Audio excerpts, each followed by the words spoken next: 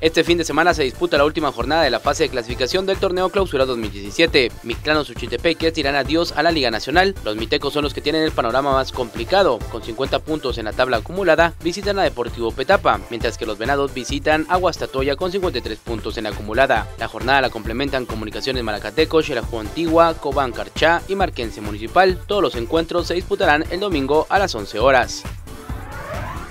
En España el partido aplazado entre Real Madrid y el Celta de Vigo, que debía haberse jugado en febrero pasado y fue suspendido por un temporal, se jugará el 17 de mayo, cuatro días antes de la última jornada prevista para el día 21. Este fin de semana el Barcelona y el Real Madrid, que están empatados en el primer lugar, enfrentan al Villarreal y al Granada respectivamente. Además, España se enfrentará a Italia el próximo 2 de septiembre en el Estadio Santiago Bernabéu de Madrid en partido clasificatorio para el Mundial de Rusia 2018, informó este viernes la Federación Española. El encuentro será crucial en la lucha por el primer puesto del Grupo G europeo, encabezado por España, empatada a 13 puntos con los italianos.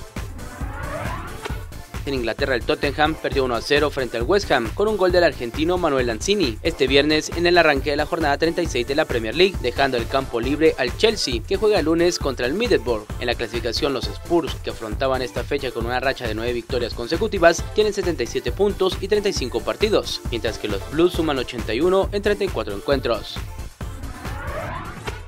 y el plusmarquista jamaiquino de la velocidad Usain Bolt, que se retirará a final de la temporada, reiteró en una entrevista concedida a SoFoot publicada este viernes su deseo de convertirse en futbolista con la ambición de integrar el top 50 mundial. Tengo la ambición de integrar el top 50 si me dan la oportunidad y tengo la ocasión de jugar regularmente. Si me lanzo en el fútbol, quiero ser un delantero que marque al menos 20 goles por temporada, afirmó. Y los invito a seguirnos con más información deportiva en Twitter, arroba todo deportes-pl.